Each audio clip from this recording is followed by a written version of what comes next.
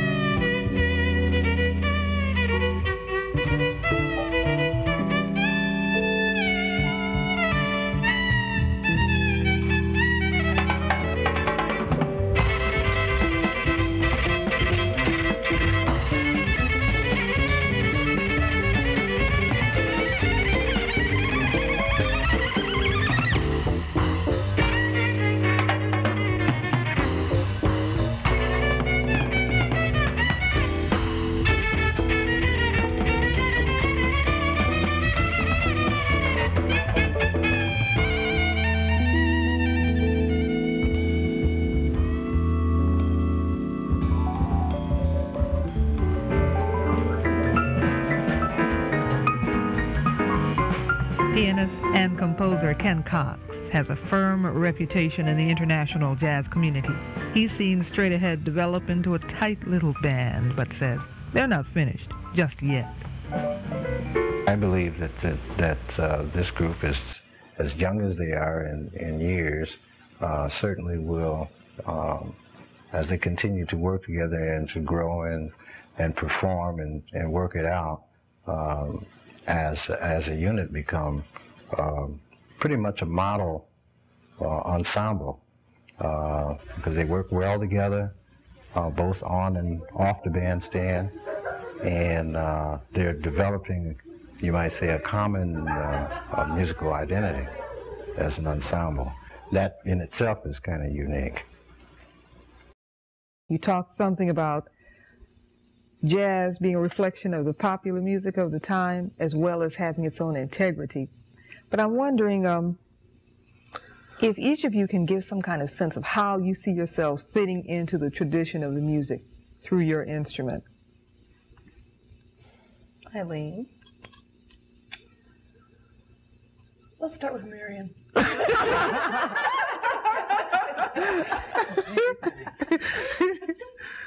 Well, I have to say that um, that Detroit, uh, being in Detroit, I've been very fortunate to, to be privy to a, a long line of very fine basses that come from the tradition of uh, playing as a, playing in the rhythm section of the of the of the jazz of jazz groups that is generally with a piano and a drummer and, and, and the bass, and that um, I've been able to be privy to that kind of feel of, of a swing the swing feel of jazz, but also I've been privy to things like the Motown sound.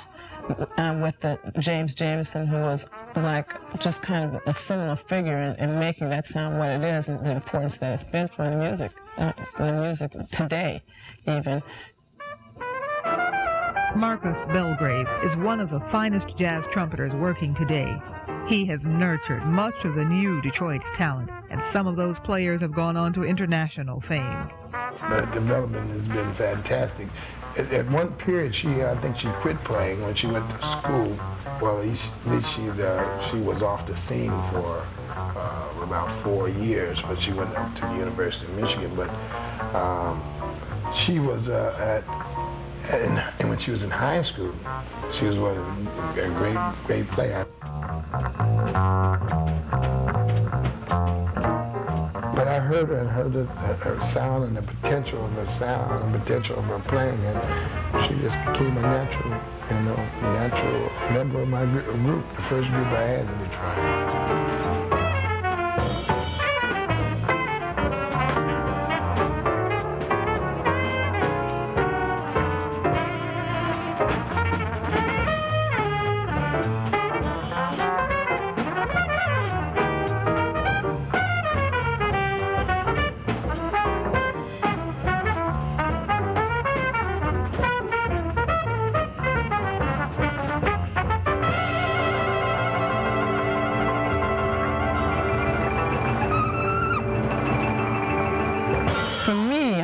It's, it's my duty to reflect all parts of, of the music, the James Jamerson sound that I grew up hearing, the Ray Brown sound, the Ron, the Ron Carter sound, the Jaco Pastorius, and, and I feel like there's a combination of that in the kind of music that we do here in Straight Ahead because we'll do some uh, Duke Jordan, some Joy Do, but then we'll also do some Eddie Harris, and we'll do some of everything so that, we, so that I have a chance to kind of mix all those different elements together and bring those into music that we do right now. I think it's a real important thing. It's in terms of uh, keeping the music alive and keeping it functional in the community and keeping people more interested in hearing it too. You feeling like that, Gayelynn? I um well, you know, my, my roots are very deep rooted in, in uh, bebop. Um, my uncle, my uncle Ray, and, and my father, Harold McKinney, and my mother, they're all musicians. They uh, my mother sings, and I uh, had a lot of drummers who came through the house and, and, and you know instilled that, that music and that the, how to how to play it. Danny Spencer made a name for himself by touring extensively with jazz masters like Joe Henderson, Art Farmer, Dexter Gordon, and countless others. He's also been a drum instructor, and while teaching at Oakland University in suburban Detroit, noticed Gayelynn had something special. Well, first of all, I knew uh, uh something about uh, Gayelynn's uh, family, which I think goes back four generations of uh, jazz musicians. So from the early inceptions of jazz until Gayelynn, you know, they've, they've been an ongoing musical family.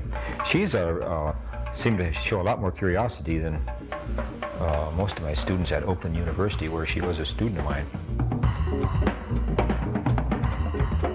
Like I say, that curiosity uh, is a real strong factor in in uh, getting through your formative uh, musical years you have the opportunity to express to to express your musical words in jazz. You know, more than to me, more than any other music.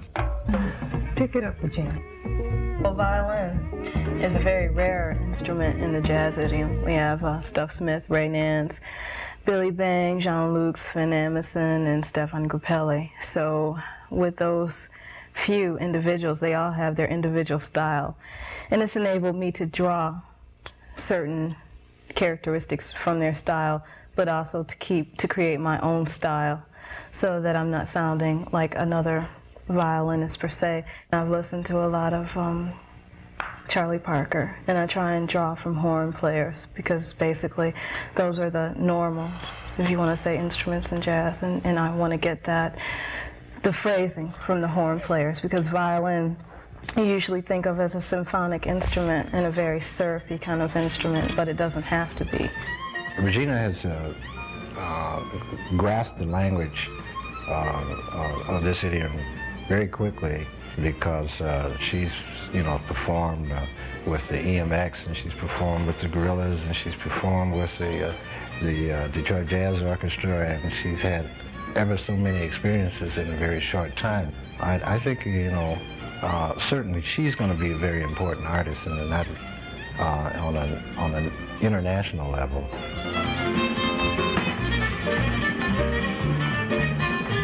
People think that if you can just play classical music that you can easily switch over and play jazz, which you can't because that's a whole nother music and form and style in itself. And it's been difficult and not that I've mastered it and I never will, no one ever does, but that's the joy of it, is to keep trying to master it. But it requires sort of like two different mindsets. It does. Your mind has to be different, right? It does. What, what, what are the points or the elements drawing on the classical experience that are really different well, when you're going to jazz? First of all, jazz is very improv improvisational music. And classical, basically, it's just written on the page. And if you have a piece by Bach, you have to play it in the style that he wrote it in, period. No matter what, you can't, if I feel sad today, I can't interpret his partita as being sad today. It has to be played in, in the characteristic or the style that he wrote it in. Whereas if I'm doing a blues piece or if I'm doing any kind of jazz piece, if I feel sad today, that's how I can play it. It's my interpretation of the music. Can you get to the concept, Eileen, that there's something about creating yourself? When you sit down at the keyboard, you're not just doing somebody's tune or trying to get another feeling into it. You're really you're creating yourself all over again when you play. Mm-hmm. Is you think that's so? That is true. Um, and what you're creating is really your highest self. When she was talking about the transition that people experience. Um, going from one form of music into jazz, what you have to, we all have many selves and we have layers of ourselves. And when you're doing something like jazz, which is a really pure uh, art, you have to get through a lot of other layers to your purest self to let it out or to, to let it be. Jazz master Ray McKinney forged his reputation during 20 years of living and playing in New York. His solid bass playing enhanced the lineups of Max Roach, Donald Byrd, Barry Harris, Yusef Lateef, naming a few. Since returning to his native Detroit, Ray has seen and contributed to the musical development of straight ahead's Eileen Orr. I am very encouraged by people like Eileen because she of her background. I mean, the background that she came from was not one of jazz, and she came into this picture, and the jazz, wanting to play the music, really caused her to really study the instrument in a way that uh, some people who are born into it, so, uh, so, so to speak, never do. Uh, she's still at it, of course, but a phenomenal progress, I would call it. What you do in the process of learning jazz, uh, if you come from another culture, is that you learn about the culture and you learn where it came from. So I played blues, and I played in a couple Baptist churches, and I learned the idiom, and I have. I still consider myself to be an artist in development, but you learn the vocabulary. Um, and it's a trick because you have it's like learning the language and even as a child like when you learn a language you learn it by rote your parents teach you dog shoe cat and then eventually you speak your own way and it's the same way with jazz there's a lot of preparation people think that you just get up there and make a lot of noise on an instrument but um, the more that you know about it you realize uh, like technique uh, frees up your musical thought. So the more um, you work on your technique and your knowledge of the idiom, the freer you become. Well, I told her in the beginning it would take about 10 years before you actually begin to get really comfortable with the idiom.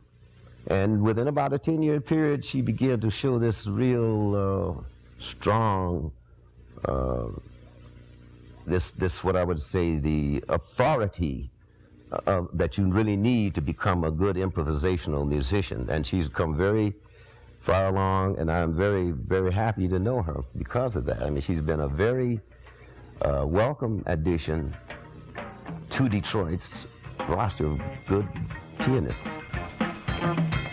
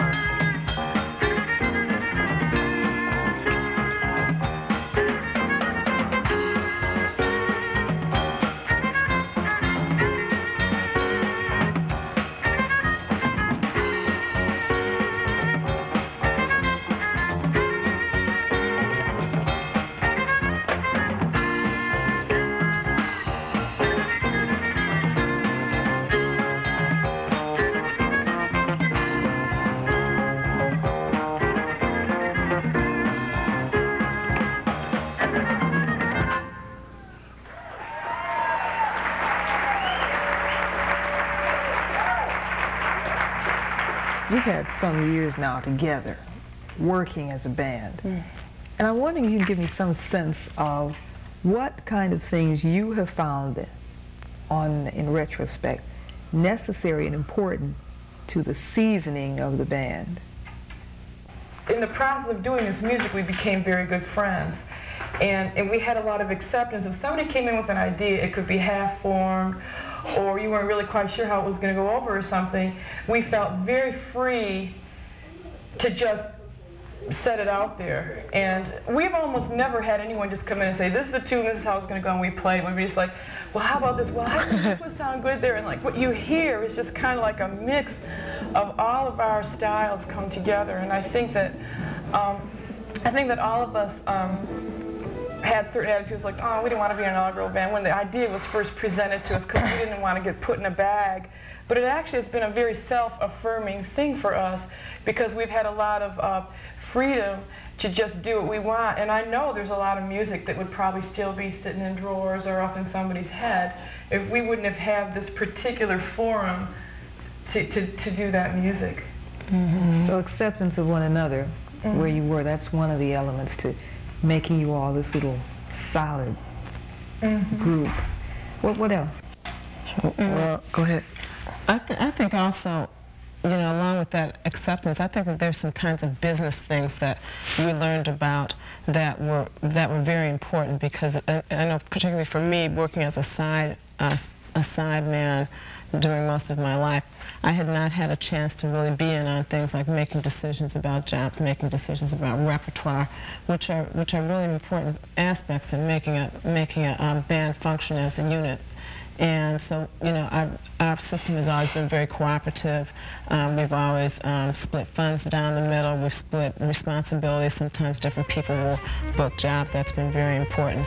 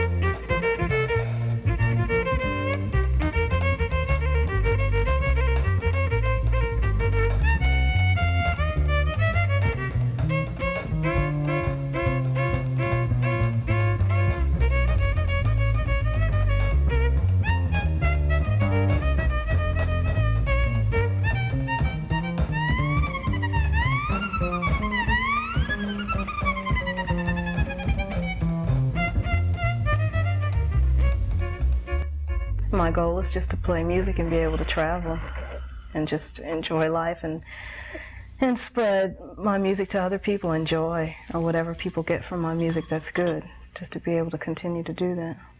Music is a is a is a mission. It's kind of a, a mission of communication and it's a way that that I can um, to can communicate my ideas. And so I feel that the longer I'm in it the more I want to expose a, a greater amount of number of people to to these ideas. And I also feel like it's a it's a cultural mission.